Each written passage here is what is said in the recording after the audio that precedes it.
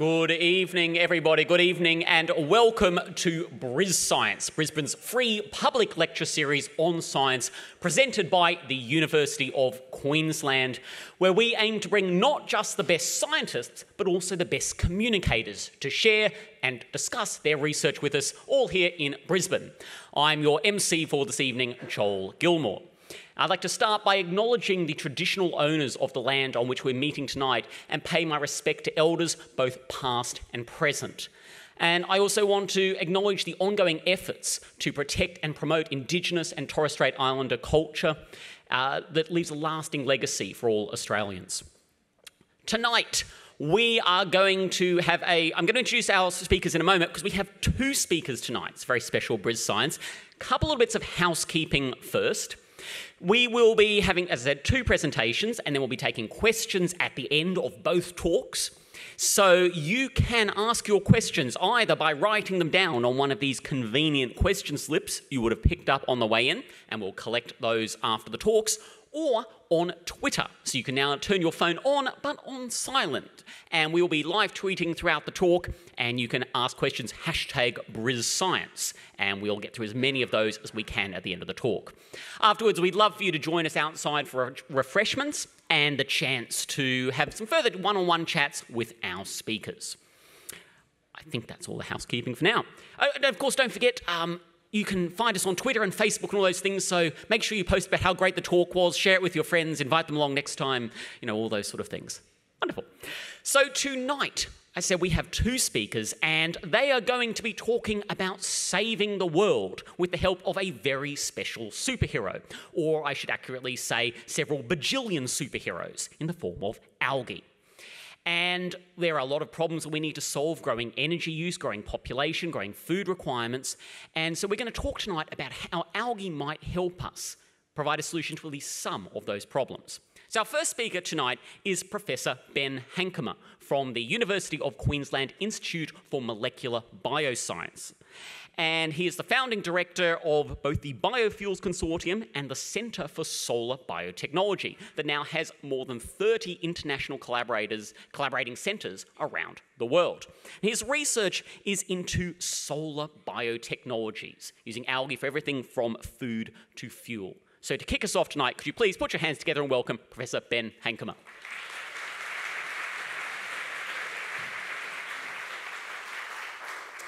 Good evening. It's a pleasure to be here, and I just want to thank Bris Science for giving me the opportunity to present the work that we do in the Centre for Solar Biotechnology.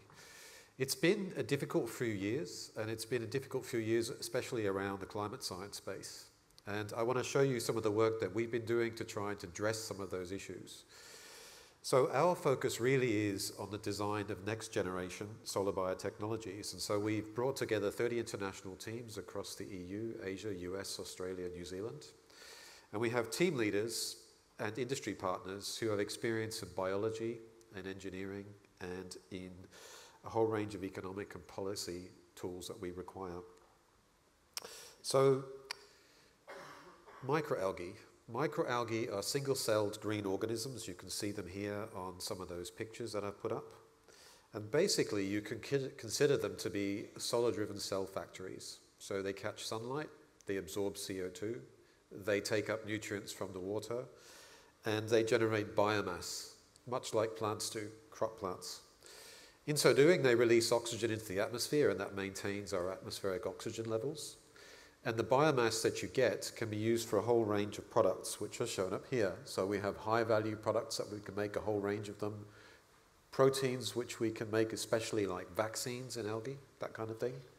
We can make food, whole range of chemical feedstocks, fuel and use them for bioremediation like water treatment. And so one of the special things about this is you may have remembered about fuels and biofuels like corn ethanol, where you have a competition between arable land for food and fuel. Well, we can produce these on non-arable land. You can produce them in salt water and you can produce them in the oceans and aquatic systems. And you can use them to drive a whole range of solar industries. So, a brief history of energy if you look back over the last, uh, you know, hundreds of thousands of years, humans did not use a great deal of energy until about the 1850s when we started seeing the energy use spike due to the Industrial Revolution. And if you look then also, you see that we had an increase in population. We built the infrastructure to support that population. We built industries around that and modern agriculture to support the population that now exists. All of this supports our modern way of life. And as a result of this, our global economy has now grown to $127 trillion a year, and our energy sector is a $6 trillion industry. Now, what many of us don't realize is that when you start looking at that, 80% of that energy that we use in our economy comes from fuel. So while we're really happy about what's happening about photovoltaics and putting those on the roof and seeing large-scale photovoltaic systems grow, be built up, we don't have any solutions for fuel, or very few, and this is a major issue. I would add that there are now solutions coming on board like photovoltaic systems for hydrogen generation, and we can discuss that during the question time. But algae can also be used for the production of fuel, but also to produce solar-powered industries. The first thing you need if you're going to develop a solar-powered future is to make sure you have a large enough energy supply. We've got fossil fuels and we've got them in abundance for the next few hundred years. But when you actually start looking at global energy demand, that is shown by that little red square, and it's a number called 0.5 zettajoules of energy.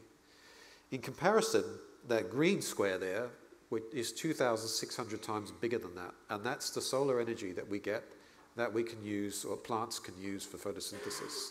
So we have a huge amount of solar energy, and you can consider it a fairly democratic energy source. It's spread relatively well across the world.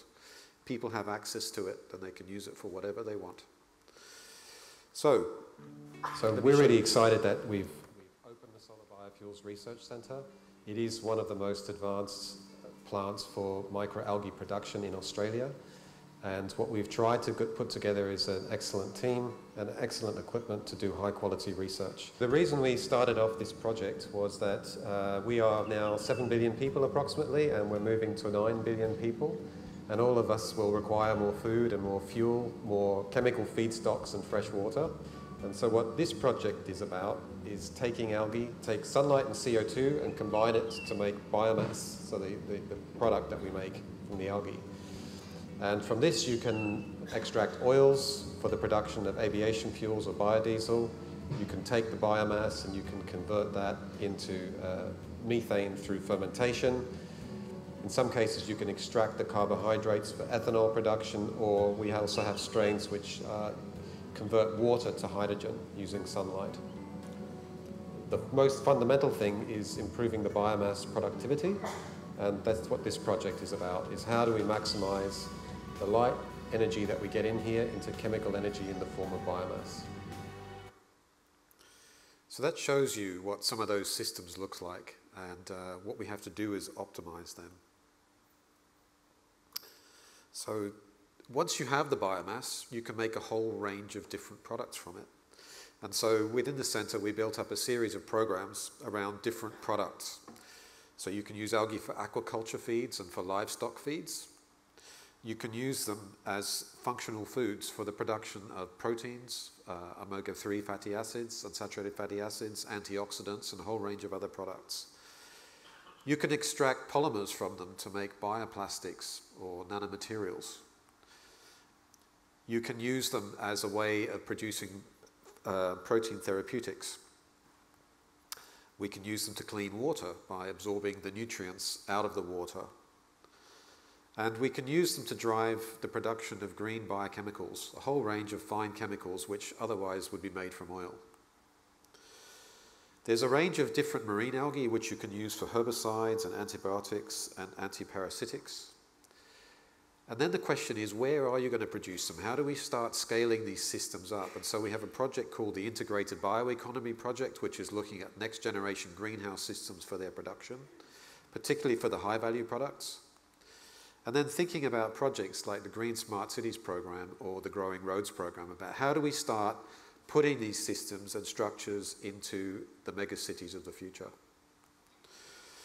All of these programs are now generating industry contacts and connections, and so we're building teams of researchers and industry into these programs to try and address these issues.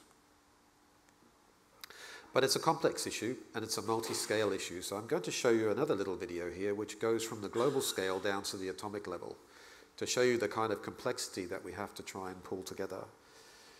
So at the global level, you have to start understanding where the most sunshine is. What are the, uh, the best locations for production? What about policies at national levels? Is our policy better than that in China or the US, for example? Then at the local level, you have to start thinking about what the regional policies are like. You have to think about uh, what systems are best for the particular product you want to make and where you're trying to make it. And so here we're zooming into that pilot plant that you just saw in the previous movie. At the pilot plant, we have to then start thinking about what kinds of systems are best for a particular product, tubular systems or flat panels or open ponds. And then when you start going into the culture, you have to think about how you're going to maintain a uniform, clean culture for what you're trying to make and how you maximize the productivity while keeping the system as cheap as possible. Zooming in with the optical microscope, you can look at the population dynamics and cell organization. And then you have to go to the electron microscope where you start zooming into the ultrastructure of the cell. Here you can start seeing how the cells are organized and zooming through that cell you can see different membranes and structures. And to segment them out, we developed edge detection software so you can then visualize that architecture in 3D, which you can see here.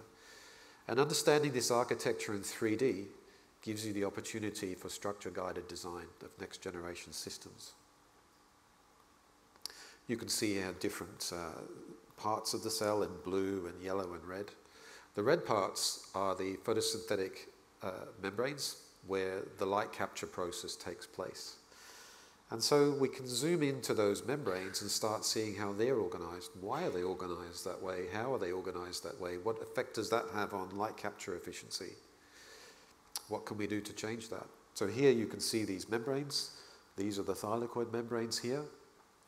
And we can zoom into one of these membranes and you see individual proteins in these membranes. And now we can populate those with the structures of atomic structures of individual membrane proteins, which are the nanomachinery which drives this process. We're starting to understand now how they're organized in 3D, and we can solubilize those proteins out using detergent and using uh, novel electron microscope technology, we can solve the atomic structure of these proteins. So now at the atomic level, we can start seeing how they work.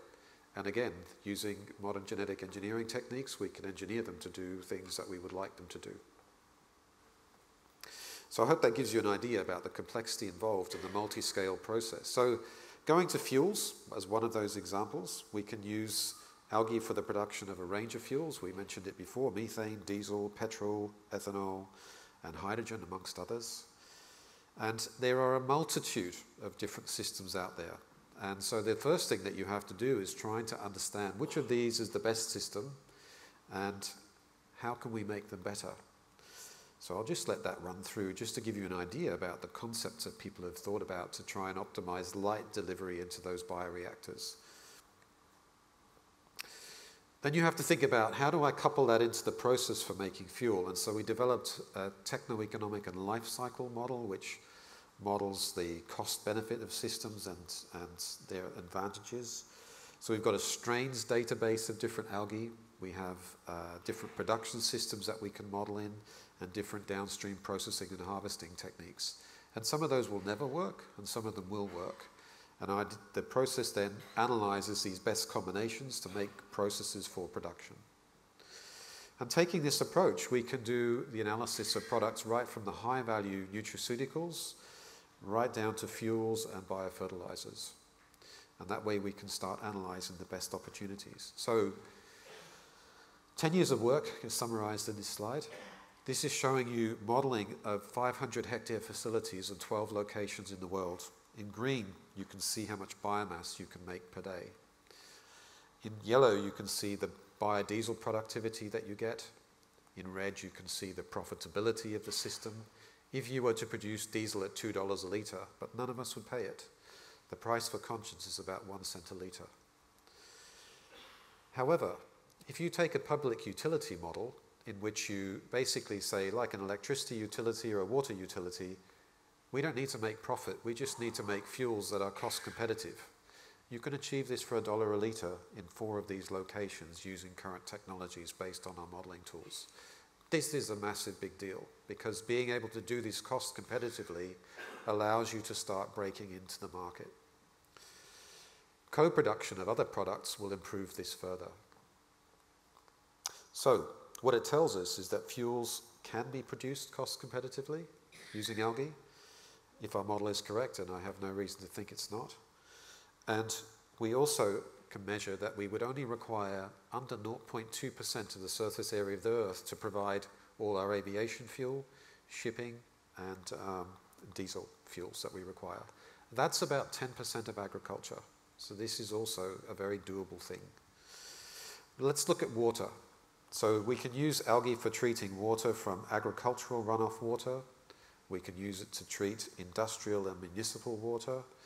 And we can use it to protect against runoff to the Great Barrier Reef, which, as we know, is undergoing no end of suffering through the global climate change that we're seeing. So the federal government has stated that they want to see a 50% reduction in sediment runoff and they want to have an 80% reduction in nitrogen runoff from the fertilizers in fields. So if you see a sugarcane field like this, you could take that runoff, put it through an algae system to extract the nutrients and release the clean water into the environment. What you can also do is produce cyanobacteria, which are related to microalgae, and they fix nitrogen from the atmosphere.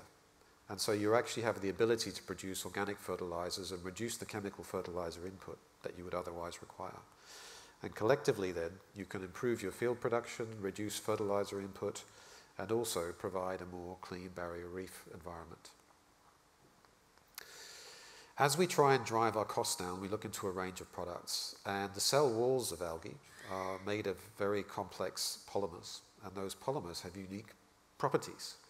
So we can extract those and we can also use the other metabolites of the cell to make a range of bioplastics and nanocomposites and materials, which can be used for a whole range of products from bioplastics through to cosmetics, for example, or uh, fibers. The protein therapeutic work, here if you can imagine putting in a gene to make a vaccine, for example, and expressing that, producing that protein in algae. So you can basically have an algae tablet you can use that for aquaculture feeds, you can use it for human use. And alternatively, if it's not effective as an oral vaccine, you can purify it. So, as we say, for vaccines, it can be used for novel antibiotics and a whole range of protein therapeutics. And the IMB, where I work, has a particular strength in that area, so there's some very exciting opportunities. I don't want you to look at that picture in detail. That is the, by the sort of photosynthetic pathway. What I want you to know is it generates protons and electrons. And in our green chemistry program, those protons and electrons can be channeled into light-driven chemistry. So we can convert compound A to compound B. And the value of that is that compound B can be orders of magnitude more valuable than compound A. And so here you open up the opportunity to develop high-value processes for green biochemistry that is light-driven. The Integrated Bioeconomy Project. Here we're focused on looking at next generation greenhouse systems that can produce 10 times more food with 10 times less water than the agricultural uh, systems that we use today. Also, they're designed to try and provide stable temperature and humidity so that we can grow different crops within these greenhouse environments and to develop more circular processes so that we recycle any waste and minimize waste and negative impacts on the environment. All of these things have good improvements for the economy as well. Here's an earlier example from Sundrop. And here what they've got is they have a solar array which funnels the, electron, uh, the uh, solar energy up to a point to distill seawater. The seawater is used in greenhouses to produce tomatoes, and the wastewater is run off into these uh, ponds here.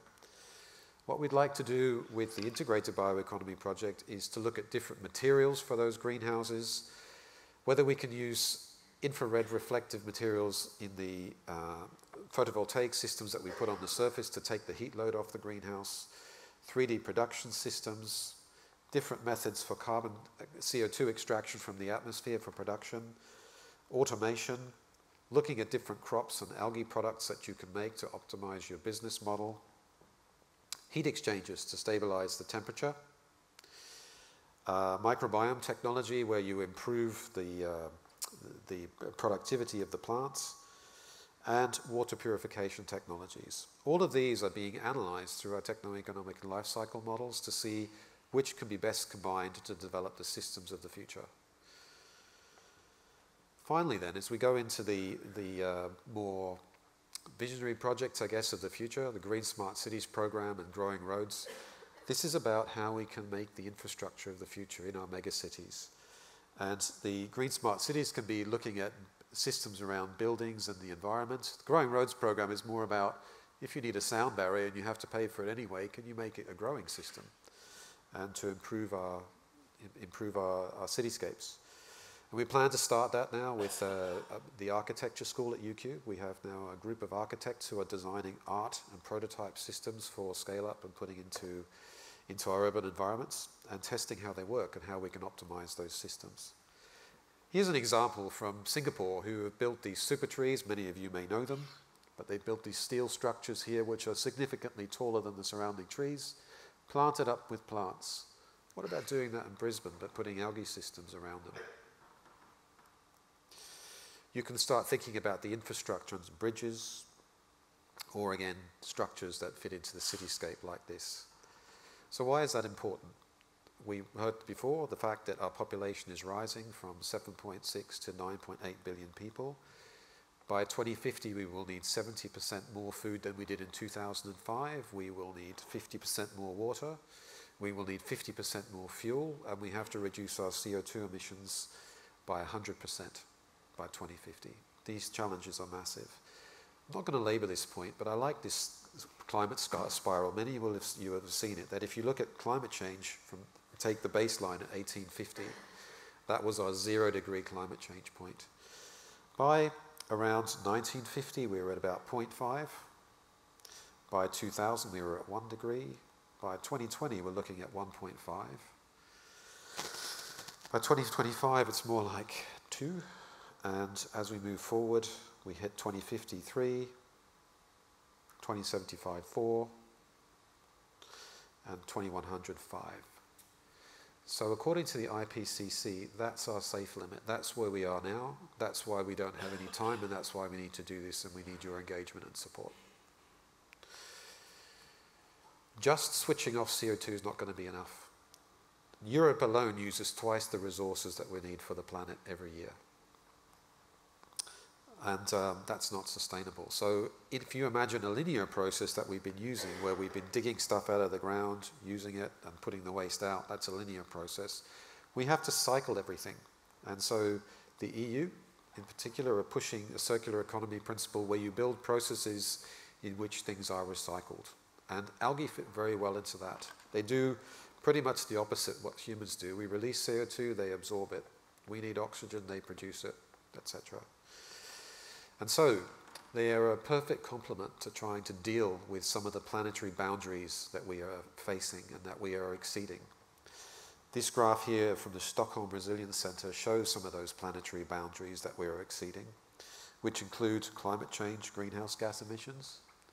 Um, we have in particular also biogeochemical flows, i.e. nitrogen and phosphate release into the environment, and the biosphere integrity is a, another major issue. So it turns out that I heard just recently that apparently 1 million of the 8 million species on the planet are in danger. And so that's why these kinds of technologies are really crucial. So I want to thank our many industry partners who have supported us over the years. We're getting many more joining us. We've had about another nine industry partners join us this year, which is wonderful. And I want to thank my team, a couple of people in particular, uh, Ian Ross, who does a lot of the work on the, uh, the design of new systems. Juliana Wolf, who operates a lot of systems at the pilot plant. Jennifer Yarnold did a lot of the modeling work uh, together with John. Evan is our pilot plant manager, and Zeenat was make, working on the biofertilizers. Recombinant protein work was also done by Saskia and Mel, who's not on this picture. And to all of them, I want to say thank you, together with my co-directors who helped me run the center. Thank you.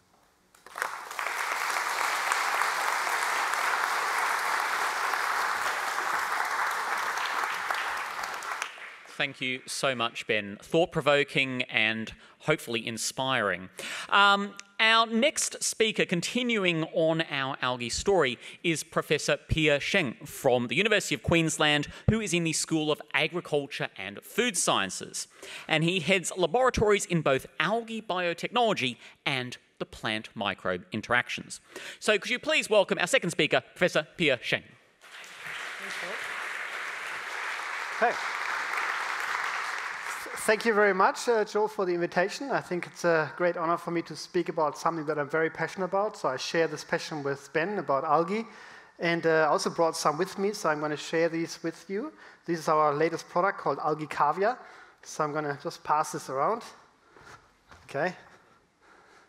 Yep. Um, so, yeah, so we're basically looking at algae for food, feed, and fuel. So I'd like to see how we can actually convert this into a reality. You know, it sounds really good to algae should be our future, but how come we don't see algae everywhere already if they are so good, you know? So it looks like we have to do some extra work to build up this industry to really make it reality. So because algae are not yet part of our everyday life, so what is missing? So we're going to have a look at some of the constraints and what we can do to bring that to the next level.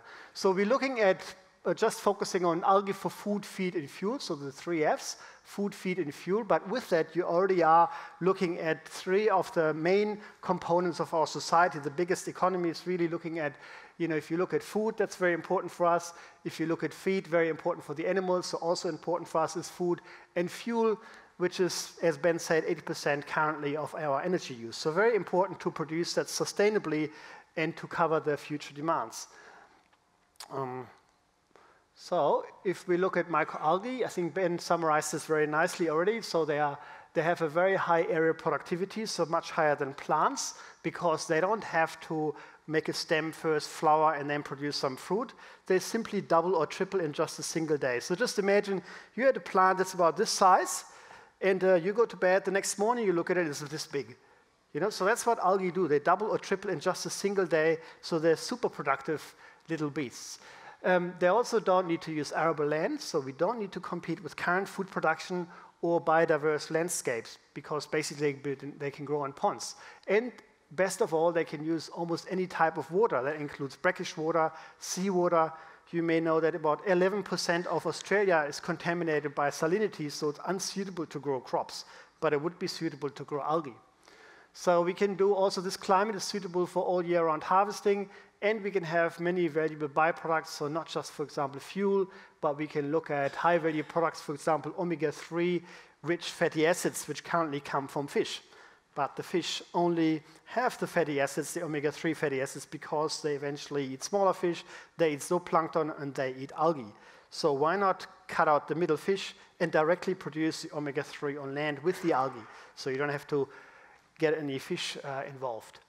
Um, so to make this reality, we need to look at the learning curve. Like any new technology, it requires a learning curve. If you think about solar technology, how long it took to actually become reality, we need to also allow a little bit of time for the industry to learn the tricks and to make it more efficient and cheaper. But in reality, algae only need sunshine, flat land, almost any type of flat land, and water in almost any type of water. So that looks very good. Um, so if we do um, a bit of a modeling, and uh, Diego is one of my students who's done the modeling. He's actually sitting there in the audience, so you might interview him as well. Do you want to raise your hand, Diego? Just so that's him there. Okay, so he's done modeling of the whole world, and basically he looked at suitability based on resource availability and profitability. So he's looking at where can we grow algae sustainably without competing for arable land or biodiversity areas, high biodiversity areas. So if you look at Australia, that looks pretty good. So we have all of this area here and this area as well where we can grow algae, and the Middle East also looks very good if, that, if you look at that. Um, so we've set up a team, the Algae Biotechnology team, and you can see these are all kinds of different people. They're all super nice people. You're welcome to visit me and meet them in person. And, um, but they come from different walks of life, not just biologists, not just people who are interested in genetics, but a lot of engineers now, a lot of people interested in economics, and uh, chemistry as well. So we come across all kinds of different people because it's setting up a whole new industry. It's not just the biology of the algae that's required here. Um, so initially, you may walk to a nice beach and collect some algae. So this is the, it's the Sunshine Coast Caloundra. You may recognize King's Beach. That's um, just from rock pools. These are some fantastic algae that you can collect there. We have a look whether they grow really fast, whether they're high in oil. So the idea being if you produce a lot of oil, you can maybe use that oil for fuel, such as biodiesel. Right? And so high in oil production. And then also we have to find a way how to harvest them. Because one of the difficulties with algae, because they're so microscopic in their water, is how to get them out. You can't just filter them out. That will block the filter very, very quickly. So ideally, you can do a process called induced settling, where you simply let the algae settle to the ground and then remove 95% of the water, recycle the water. So this is how you can remove the algae from the water. That's the best situation if we can have algae that sink naturally. Then, of course, we need to test them in bioreactors, open ponds. We need to look at harvesting extraction processes, and then we're looking at an algae biorefinery where it's not just one product, for example, oil, okay, that can be used for biodiesel, biofuel, that's great. That's only 30% of the biomass. If you look at the yellow droplets are the oil. The remaining biomass is very interesting still because it's high in protein, antioxidants, carotenoids, vitamins, minerals, etc., and especially protein with all essential amino acids. So it's super valuable in terms of a whole food as well. so maybe we can produce some oil for fuel and then maybe some high value products to make it a feasible enterprise. For example, those omega-3 fatty acids that I talked about. And then we can also look at using the biomass maybe uh, for um, human consumption or animal feed. Um, so we've taken a few steps to make this whole process more economical. So the last 10 years I've basically dedicated to making sure that every step is more optimized so that we can make it a reality. So really reducing the cost of production was the main aim. So step one was finding a high lipid, high oil producing algae strain. And you can see here, I really like these algae. These are called Tetraselmis. They come from Maroochydore. A student went out there, collected a sample, and um, kind of nice because they have a red eye spot. So when you look at them in the microscope, you develop a bit of a personal relationship to them. They, they basically look back at you, so get some feedback, which is always nice. And, uh, and then in reward to that kind of personal relationship you develop, they produce lots of oil. You can see these are chock-a-block full of oil droplets here. So fantastic, ready to harvest.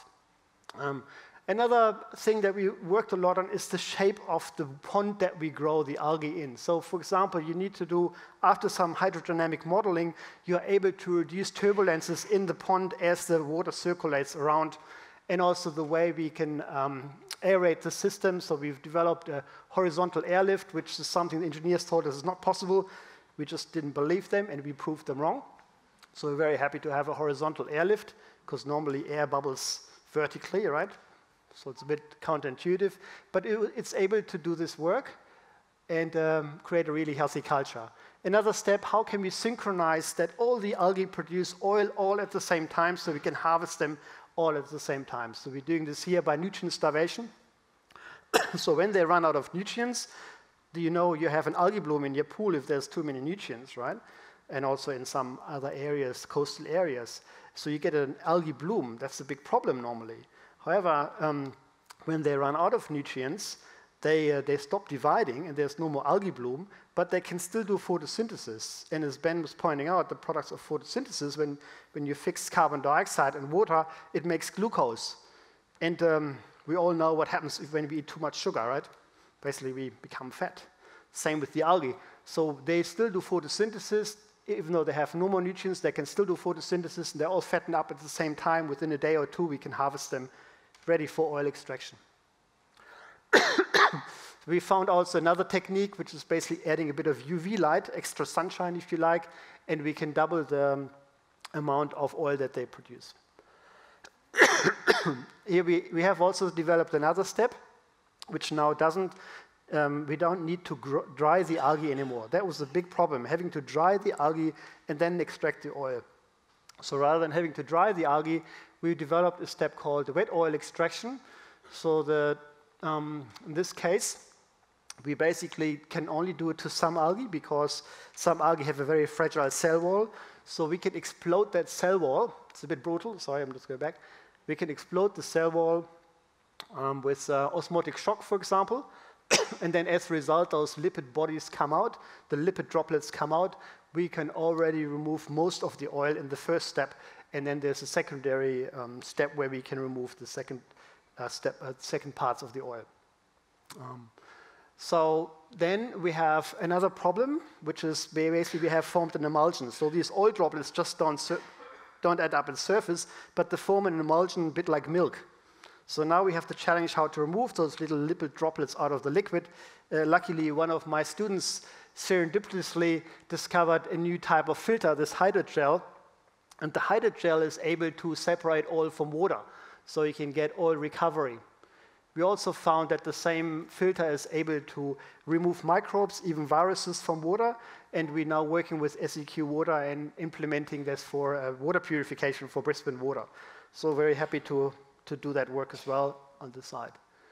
Um, so next step was for us, okay, we need to have a learning curve. So with that comes the economy of scale. We should be able to develop things cheaper as we do them in larger scale. So um, we built an algae farm uh, this is the first steps of the algae farm about five years ago, getting industry ready. And so we, uh, this is in Pinjarra Hills, just up in the river. And you can see we're building these kind of raceway ponds here. So you can see that from Google Earth. Basically, it's just next to the river. So this place is completely remote from any civilization, if you like. It's, it only has no town water. It has no electricity. So it really just uses the sunshine and the water that's available there. Um, so using the river water and the sunshine that's available as well. So proving a point. So this UQ algae energy farm um, then starts with small cultures that come from the lab and then goes to larger cultures. This is 4,000 liters. And that serves then as inoculum for the 40,000 liter ponds. And then the 40,000 liter ponds, there's three of them that can be grown. And that serves as inoculum for an even bigger pond that I'll show you a photo later. Um, and then the harvesting can be done in a V-shaped pond where the 60,000 liter just simply settle. 95% of the water is recycled. If we need to dry, we have a solar dryer as well that can be used. So all steps have been integrated. Now looking at the biorefinery, so this is where the costs come in. How much, how can we make a profit out of growing algae? Because I believe only when you can make a profit out of this technology, companies come on board and they help you really implement and deploy the technology in the real world. So we need to do that. So working with a company here, with two companies in fact, Qponics and Woods, we're looking at an algae biorefinery. This particular algae called Nannochloropsis, and it's also the one I'm passing around, by the way, uh, produces a lot of these omega-3 fatty acids. So it's high in EPA. So the omega-3 rich oil is is super profitable because you can get about $150 a liter for this oil. So it's the same process so that we need for biofuel production. So we, we basically have this. And then we remaining, the remaining biomass is very high in protein.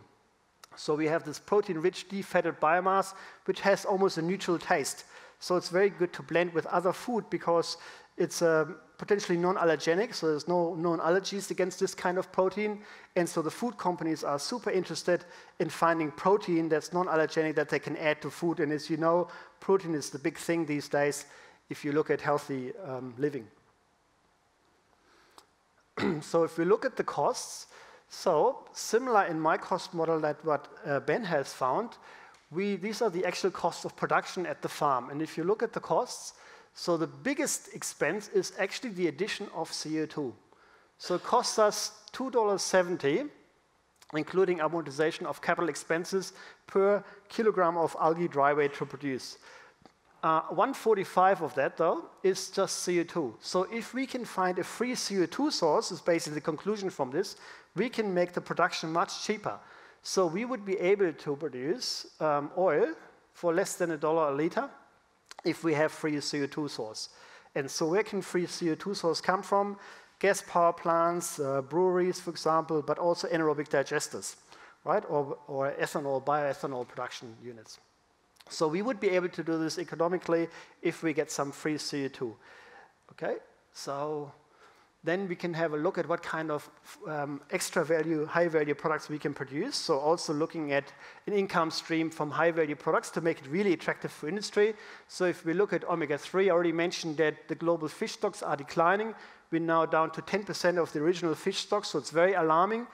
Uh, but the microalgae are the primary producers of omega-3, so we should really eat algae rather than fish oil if we can do that. And so we had a look which algae are the highest ones and then grow these algae at, um, at a higher rate. We also can get nice carotenoids from algae.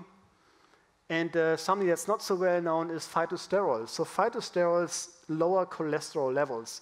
And you can even buy Weet-Bix with phytosterols in them from soybean. But it turns out that one particular microalgae, this one's called Pavlova lutheri, and it's my favorite algae because it produces omega-3 carotenoids and has up to 5% of its dry weight in phytosterol.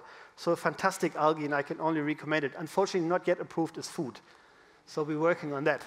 But uh, they use it in aquaculture, so it's, it's ready. So what is approved as food? So nanocrops is one of the algae that is used, approved as food in some countries. So we now had a lot of food technology students developing new kind of food. And I just want to share with you what you think about this kind of food. I started with algae bread. So you basically just put a bit of algae when you make the bread. Um, and then consumer perception, that's really just my lab who used, uh, I used them as guinea pigs. And so this is what they had to say. People who didn't eat the bread because they thought, oh, it looks disgusting, it's too green, it already looks moldy. But the people who ate the bread, they seem seems tastier, it's really good with cheese, they can smell the algae flavor, and they would eat it again. In fact, for about half a year, every week we had this um, at the lab meeting, and people are still healthy. So, so, surprisingly.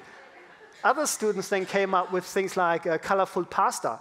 So you can make colorful pasta by just adding different types of algae. Spirulina is well known, that gives a bit of a blue color. So the blue color in Smarties, for example, comes from spirulina. So you can do uh, blue um, algae, uh, blue pasta, sorry. You can do green ones, and you can do red one with Haematococcus, and even orange one with Dunaliella. Just some examples there. Um, I've taken this to a bit of a next level, so I actually went to Hong Kong at a food conference there, and I uh, pretended I was a cook. I've never been in a master chef kitchen before, but I tried my luck uh, doing some algae, and so this is my attempt to make algae um, pasta, and uh, you can see I already found a friend who was a big fan, and it's great. He, by the way, this guy invented 60 years ago the first computer, is what he was telling me, so very interesting, I think. So there's a company now doing this kind of work. It's called Hess Algae. This company is founded in Brisbane, uh, but it's got a subsidiary in Hong Kong looking at the Asian market to basically get the food out there that is enriched with algae for improved nutritional purposes. Um, also in the same series from Hess Algae is the, are these golden nugget biscuits. Um, I kind of like them, and they're a bit savory, so I don't know if we call them biscuits or whether it should be called muffins or something we're still looking at a good marketing strategy. And these ones are my favorite because these protein balls, you only need to eat three of them, actually one of these, to cover your omega-3 requirement, daily requirement. We can put up to 20% of, this, the, of the, the protein ball can be algae without affecting the taste too much because there's a lot of cocoa in there and that masks the taste of algae uh, which is not too bad, but some people may not like the algae flavor too much. So this one I can really highly recommend if you want to have some nice protein and omega-3 at the same time, and it tastes good. Um, now this one is algae caviar, so what I'm passing around. So it's really about packaging. Algae is kind of have this reputation of being yucky and slimy. So how can we make them more interesting and, and make them look nicer? So uh, this is the making of algae caviar. So we basically put some alginate encapsulation, and this is how we make them. So it's a bit of a beautiful process, right? So okay. Basically, it's just a drop of algae falling into a liquid, and then they solidify, making an alginate capsule. So it looks pretty nice, and that's what I'm passing around as well. Um, so as a result, you have these beautiful looking algae caviar. And so there's a company now we uh, just formed recently at the Sunshine Coast and Ocean Orchards. And Anna, who had originally actually been invited to give this talk, also is, is, now in Europe. So she's not actually talking about directly, but this is basically the product that they have. They're just, just at the Sunshine Coast growing these algae caviar and selling them at the local markets. And hopefully we'll see them in Brisbane very soon. So coming back to where we can grow algae, so if we really want to look at the master plan, which is to grow fuel and feed and all these kind of big ticket items to address food and energy security, we need to look where we can grow algae sustainably. And so, uh, and then we need to implement and establish the industry. So really the next step, I think, is to establish the large-scale production of microalgae. And uh, we can do that with, of course, the corporate sector. So we're looking at building very large algae farms. So the first one we helped build was in Oman with a Japanese company.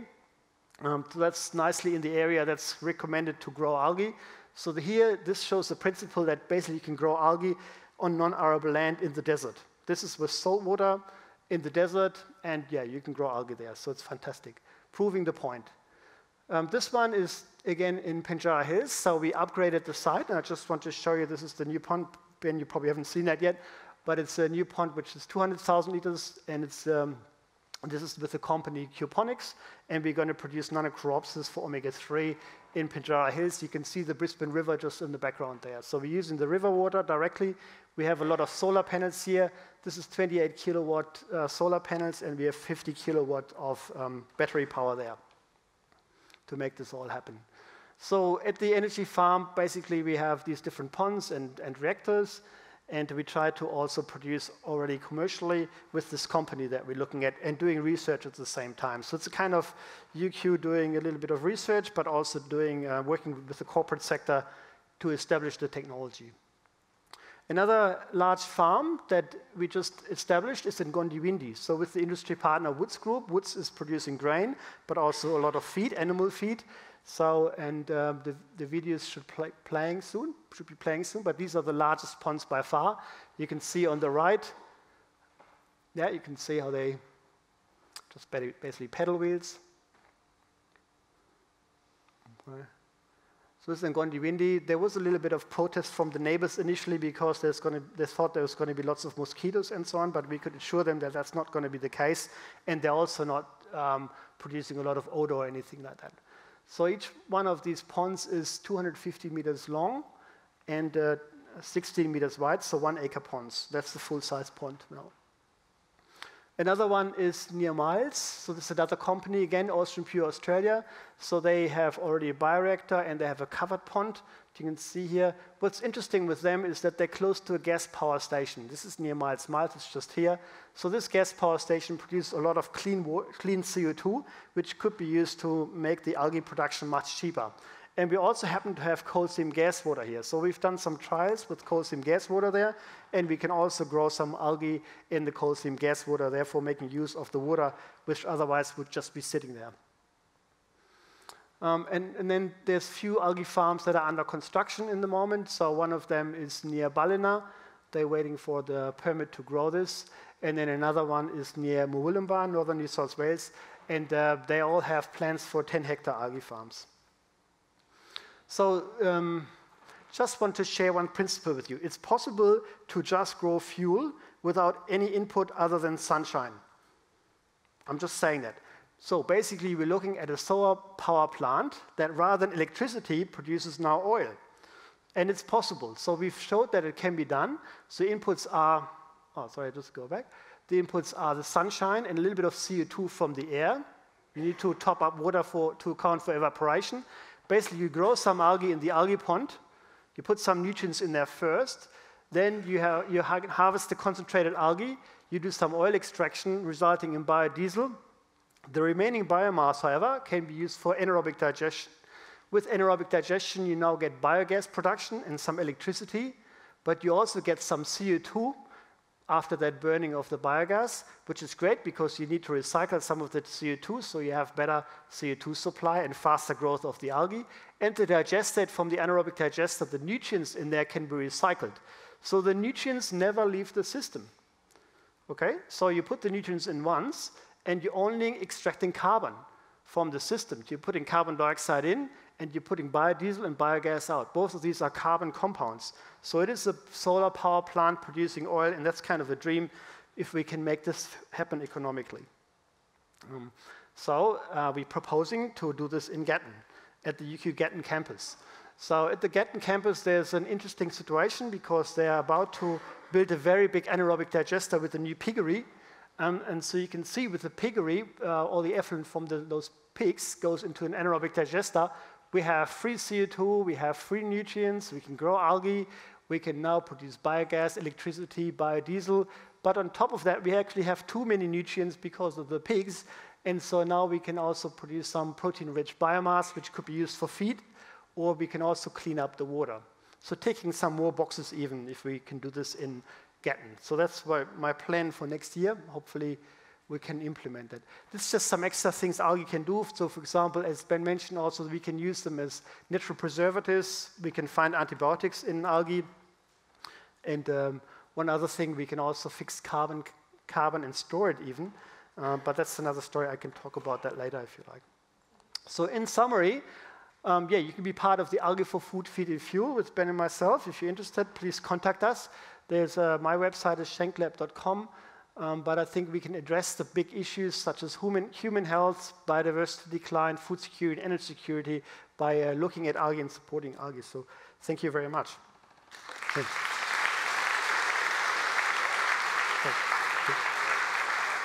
you. Thank you, Pierre.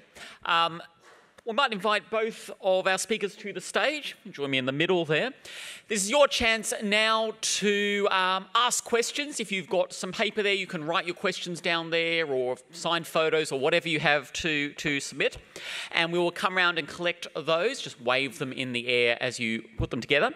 Next month's talk is going to be on artificial intelligence and looking at some of the technological applications that this might bring, including facial recognition. And that will be on the 8th of July. So make sure you um, head onto website, sign up to the mailing list so you get informed when tickets become available for that.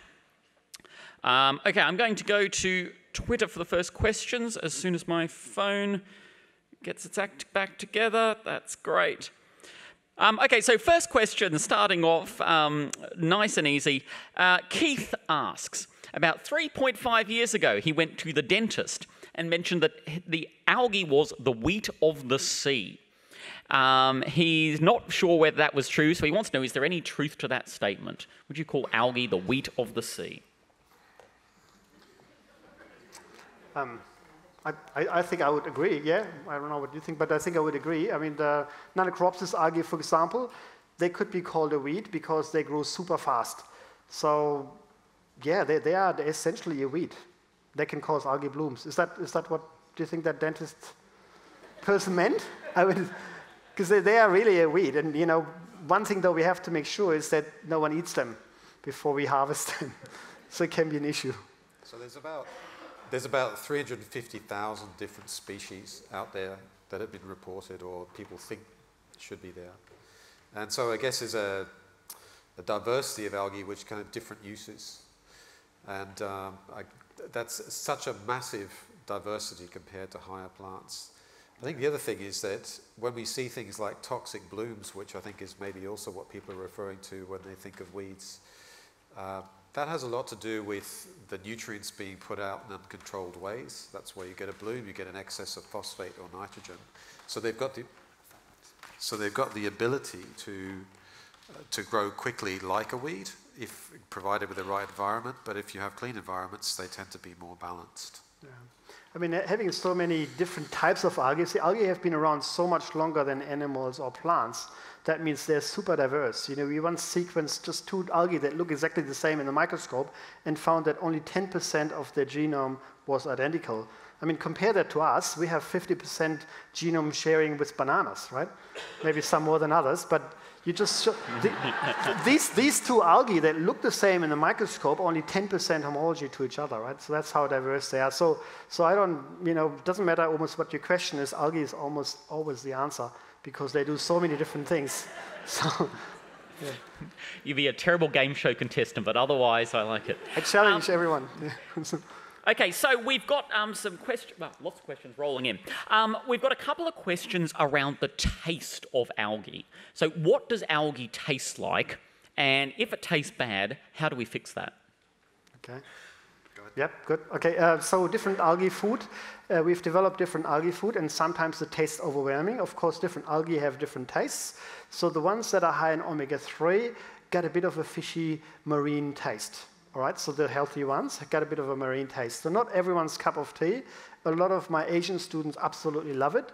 but uh, some of the more Western inclined cuisine people don't like it so much. So how can you cover the taste? There are some tricks. So for example, the protein balls that we have, we're able to include 20% of the algae because the cocoa powder has such an overwhelming flavor that you don't actually taste the algae anymore. If we go higher than 20%, you do taste them.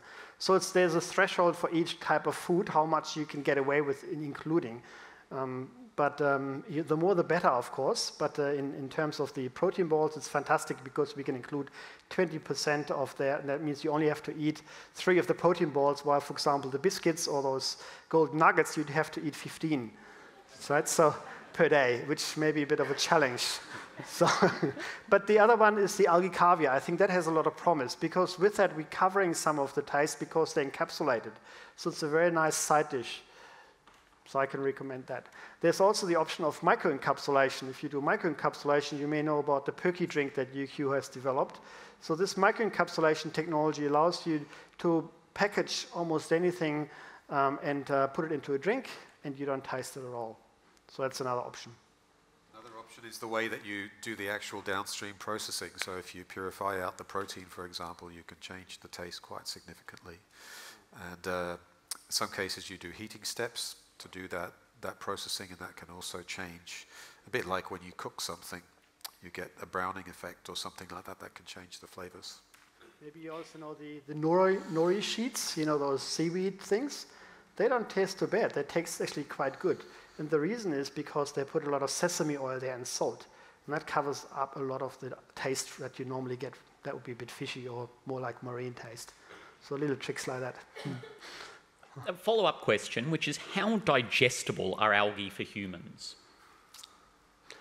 I think that's probably one of those things that still hasn't been fully established. You have a lot of species which are generally regarded as safe uh, species, and you, know, you do buy algae tablets in, in, in, the shop, so I guess they would probably be digestible, or at least um, partially so. Some species are, are, much tougher to digest because they have really tough cell walls, and so you have to process them in some way, like cracking them to make them more accessible. Yeah, I think it's an excellent question because there's the thing about, yeah, you can eat algae, but do you actually get the nutrients out of it, right? So the, the nanocrops algae, for example, have a very tough cell wall, um, so we're working on an artificial stomach. So there's an artificial stomach that we're using to actually find out how much is digestible. And then another question is digestible is one thing, but another question is how much is bioavailable, how much actually ends up in your body. Right? So we, we um, I'm actually participating in a trial very soon. I don't know if you do as well, but there's one from iwi from the algae. So that's starting end of the month. I'm going to eat a lot of algae oil, and they're going to take my blood before I've taken the algae oil and then three times during the process. So we're going to see whether that makes a difference, although there's also placebo that they're going to possibly feed me, so I'm not supposed to know what's what. Well, I can probably find out. so, so, so, we, so, yeah, wait for the answer of that question. I think it'd be interesting to see. All right, we'll, we'll follow up with you next year, next okay. Science. All right. We'll do some blood sampling. Okay, um, next question. Um, so, Ben, or perhaps either of you, question is uh, Is biodiesel completely substitutable for regular diesel? Yeah, I mean, basically, if you think about where diesel came from, uh, a lot of it was based on plant material, including algae and cyanobacteria, which was compressed over millions of years and heated. And as a result, you get a crude oil, which we extract and refine. Here, what you do is you produce the same plant material uh, you often put it through a pressure cooker, and so instead of waiting a million years, you can do this in a few days.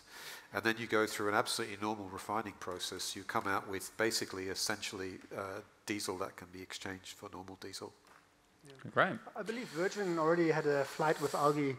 jet fuel, and that was quite successful, and they, they didn't find any difference at all. Yeah. Good. yeah. Or indeed improvements in some cases. So in some cases, they found it a higher energy density. So that meant you had to load on less fuel. Right. Um, so we've got several questions which are around like these next steps. So one of the questions is, um, can we grow our own algae at home? And Shane on Twitter asks, do you see us converting our pools to bioreactors, like solar panels on our roofs? Uh, my, my pool might already be functioning as a fairly effective algae. when you do the modelling, economies of scale are really important. and the other thing is that when you ask people what they actually want to do, like if you had to go out every day and maintain your pond, would you want to do it?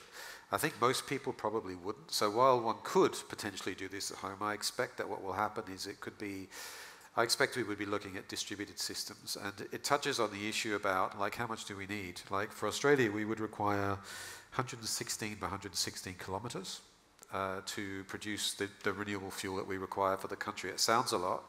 But when you start thinking about distributed systems around the country, you might think about having that at a town level. So you might have somebody to manage the process. And I expect that's more likely to happen because it's easier mm. to manage on that level. Yeah, it's a bit like growing vegetables, I suppose, right? You can do it and it becomes a bit of a hobby, so you can probably supplement your intake of food, but you probably wouldn't rely solely on that. Um, so you can do that too. I know quite a few people who grow their own spirulina, and that's fine. It's easy to harvest. I can, I can help you if you're interested in that. Um, if you really wanted to grow your own fuel, for example, you would need about 800 square meter of land um, to do that. So, but it would, it would require a bit of work. You get a harvest every three days, roughly. So. but it opens up a really important question about the issue about economic development and regional development. When you think about the fact that we, we have a lot of uh, how shall I say, divergence between rich and poor, and particularly in regional communities, there's a lot of anxiety about work and uh, the ability to provide meaningful jobs. Here's an opportunity to, to do that, and we've actually done calculations on this basis for Australia. So we import $35 billion of fuel every year. We have the ability to produce that here. It would provide 89,000 direct jobs. It would provide over 400,000 indirect jobs. If you compare that to the Adani mine, which is about a thousand jobs, you can see that, that, there would be a lot more. Sorry. If that. If that. Yep. So it would be a lot more opportunity to do that. The the cost saving to the country. The calculations that we've done, it would require about 10 years payback, which is not unreasonable. If you put a solar panel on your roof, it's about 10 year payback as well, you know, something like that. And at that point, you are then uh, generating or saving, if you like, of about $44 billion a year and our national debt, I think, is somewhere about 400, uh, 0.4 trillion. So 400, yeah, 400, 400 billion. So basically, you start seeing that you could make a significant impact on regional development, providing jobs and dealing with national debt. Yeah. So what are the blockers then? What's stopping this from? Yeah, right. Yeah, good. good. So the, the the blockers are that it's cost. You know, if you think about this, there's, if you look at the last election, right? So, regardless of what your position is in politics, climate change was touted as one of the most important issues. But that's not what people voted for in the end. In the end, it was probably around jobs. And uh, if, particularly if you look at Queensland, around the Adani mine, that was around jobs. So, what people are also saying in a way is that they want to see action on climate change, but the majority of people would like to see somebody else pay for it, i.e., the private sector rather than the public sector. So, not taxes, but create a process which is economic. And I think that's the bottleneck: is how do you make it economic? So, what happened in 2009 is there was a lot of investment that went into this, and a lot of companies went bust because they built the wrong systems. And it was predictable, especially when you model it, that those systems would not work. But now what we can do is our models show not only why they didn't work, but how you can make it work. And I think that's really important because it guides us in terms of doing our development efficiently. We will require something like $20 trillion of infrastructure upgrades between now and 2050 to deal with climate change. Building the wrong systems is a big, expensive mistake. So, if we can model these things right and drive it out, we can fast track that development, and that's really good. Things that Peer's doing, where he's just trying these out, also really helpful. You learn really useful tricks on the way. So, it's a combination of doing pilot scale optimization and modeling and then testing things and see that work. But bringing it together can be efficient. So, so we, we learned actually that cost is not the only factor. I thought it was the only factor for a long time, and we really tried to bring the costs lower and lower and lower. And that's true, right? Really, people find it attractive, investors find it attractive. But there are some other considerations, for example, and these are, like Ben mentioned, creating jobs in regional areas, uh, national security, if you don't have to import that much oil, for example, you can produce your oil, your own oil. uh, that, that kind of thing, and also making a cleaner environment and more sustainable practices. That, also is important. So there are early technology adopters who find this really attractive. They're the same kind of people who now buy an electric car. It's not for economic reasons. It's, they want to make a difference. And they're the kind of people who really drive this along. So what we need to do now is we have to find a compromise. It's got to be some economics in there. Something's got to be worthwhile, the investors' money. So for example, at the Gatton farm, we were looking at biofuel production. We're also going to produce high-value protein. You know, the fuel is only going to cost $1 a liter, but the protein is going to be $20 a kilogram, okay? So that's where the money comes initially. And then maybe the protein becomes less important with the learning curve, and then fuel becomes the main thing because it's a huge market, obviously. So that's, that's where we're trying to head with this. Yeah. Great. So, um, two more quick questions then. So, one is from Nicola on Twitter who asks, What can the general public do to help make this algae economy a reality sooner? So, what's the electric car equivalent perhaps that. So yeah, I think that's a that's a really good question. It's something I've been wondering around, uh, you know, thinking about a lot, and I think we have to think about alternative business models. So if you want change and you want climate change and you want to do something, there's a question whereby thinking about whether the Centre for Solar Biotechnology, different people who are working in this space, could work on crowdsourced projects. So if you're interested in that, come and talk to me. I'd be really happy to talk to you about how we make that work. There's also an element whereby one has to think about the business models of the future. There are traditional business models where you have investors doing work uh, to do that. But what about crowdsourced projects where people get involved to actually just get these technologies out there and thinking about whether one can integrate that with some kind of shareholder initiative? They're, they're really innovative business models that we need to think about, social enterprises. Yeah, maybe if you're interested in being part of some of the companies that are uh, doing this and pushing this forward, I mean, very happy to bring in contact with those. I mean, they are looking for investors, for example, and shareholders to be part of this growing economy, if you like. And then also, I think in the future, you're going to see more and more algae products. I hope anyway, like some of the food products, for example, they should be available. There's already a company, Iwi, producing algae oil, for example, for omega-3, so you can look at and, you know, maybe, maybe um, support these kind of algae products because that will help grow the industry and make it more profitable. And with that, the learning curve should be achieved, which will make it cheaper, just like with solar panels, you know, making that cheaper because they're produced at higher uh, quantities. Mm. Which perhaps leads to our last question, which is, what should I study so I can come and work for you? I'm not sure which of you that was directed towards, so just well, take it take okay. it optimistically. Yep. The approach I usually take is I say, what's your dream project? let's try and see if we can work around that because yeah. there are so many skills that you require yeah. from biology to engineering, policy development. You know, one of the things that came out, you wouldn't immediately think policy is important, but as I mentioned before with the fuel utility issue, the most important factor which came out in terms of cost of systems was biomass production. The second one was tax rates and interest rates. And so that shows you the importance of policy. So it really doesn't matter where you come from. Initially, think about the dream component that you're most interested in, and we can tell you whether that's an important factor or not, and then you work it from there. Yeah, I, I, totally agree. It doesn't really matter what you're doing because all aspects are required here economic, environmental, social. If you're good at engineering or economics, or if you're a biologist, any of these things would be fantastic because you can see that I'm a biologist, I'm a microbiologist by trade, but I, half of my team are engineers or eco economists. So really, it, it, doesn't matter where you're coming from, you, you can be part of this. Uh, we're still looking for people like um, good people who are good with economy or people who are good with social science as well because the social acceptance is an important factor. Uh, we now have found a really good way. We're getting a lot of school classes to visit.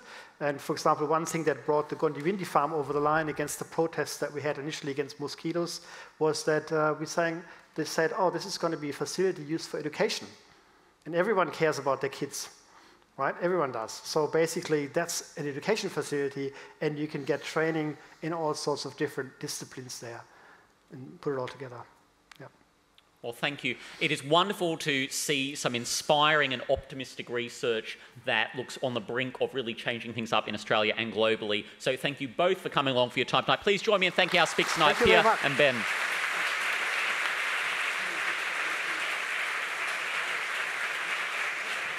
And make sure to join us next month and join us for some food and drink outside. Can't promise any algae, however.